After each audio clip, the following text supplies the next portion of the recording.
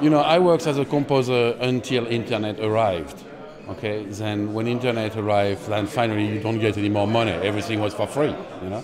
So now I'm working more on the innovation parts of the technology, creating new technology, creating new tools, musical tools. Um, also, you know, that's my works as a composer now completely change, and I'm more a kind of um, promoting innovation and promoting new technology to what it was before.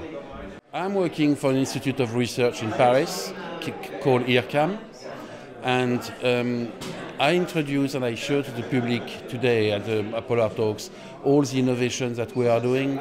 Like you can take a plate and putting your captors on a plate and then transforming the plate as an instrument. Um, I show different, you know, new way of making music, a new way of creating sounds, sound designing.